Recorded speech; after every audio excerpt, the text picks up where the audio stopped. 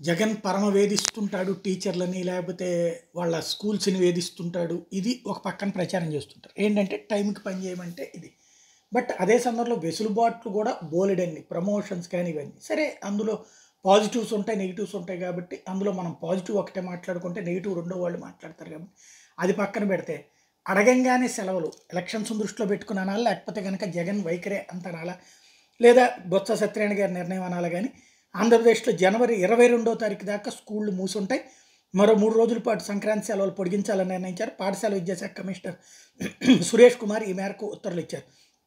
సంక్రాంతి నేపథ్యంలో జనవరి పద్దెనిమిది వరకు పాఠశాల సెలవులు ఇచ్చారు. అయితే ఉపాధ్యాయులు తల్లిదండ్రుల కోరిక మేరకు మరో మూడు రోజుల పాటు సెలవులు పొడిగిస్తూ జనవరి ఇరవై రెండున పాఠశాల తెరుస్తున్నట్టు పాఠశాల విద్యాశాఖ కమిషనర్ ప్రకటించారు.